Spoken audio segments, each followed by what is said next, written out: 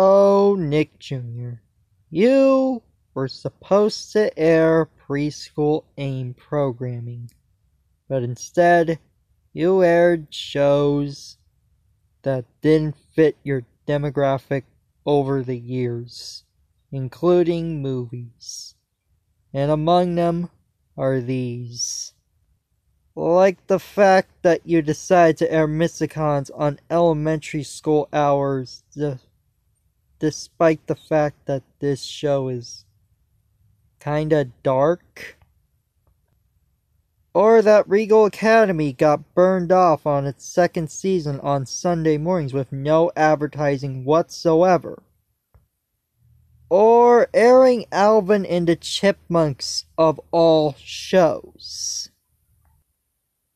But of course, I can't forget the show that you gave surprisingly good treatment and then decide to remove it to not air its third season.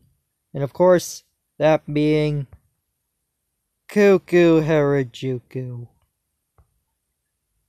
The fact that you aired this series on Friday nights after an airing of Paw Patrol with a season 2 premiere and treated the show well, as well as giving it weekday reruns and removing those reruns weeks before the season finale, and after the season finale, you got rid of it, and then you aired it on the Nick Jr. Pluto TV channel, which only had season 1, and that was gone too, with no season 3 until YouTube.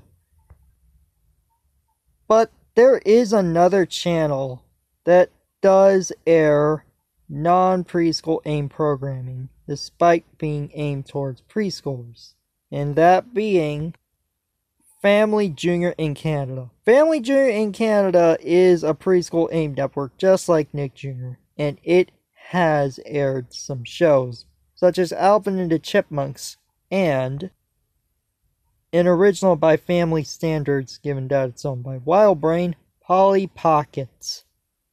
And they have been airing Polly Pocket for quite some time, ever since its premiere, and it kept going with its later seasons.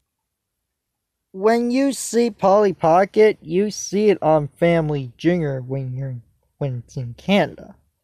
It's sometimes on Family Channel, but most of the time it does air on Family Junior, including their premieres. Nick Jr. did some pretty good treatment on Kuu Kuu Harajuku, but it didn't do the best. I would say this, it got better ratings there on on Nick Jr. than it did on Nickelodeon with its first season, burning off the series after half of season 1 airing out of order. Family Jr. apparently also aired Mighty Mike, which is known on Universal Kids in the US, but it has aired Mighty Mike before as well.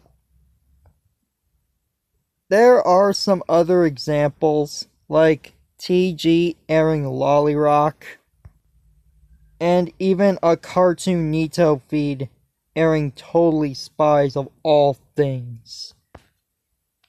Given that Nick Jr. was trying to gear towards females, which was why they were burning off those shows there than on Nicktoons, which they were trying to make Nicktoons a boy centric network with Nick Sports, which seems kinda unfitting there.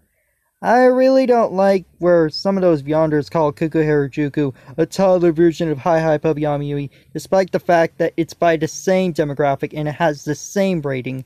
It was just burned off there because, well, Nickelodeon didn't treat their animated shows back in the 2010s, and yeah. I gotta say, Family Junior is treating Polly Pocket well to this day with their airings. Some of them being on like Saturday mornings and some days being weekdays at prime time hours. Anyway, guys, this is Kawaii Life Antonio signing up. Peace.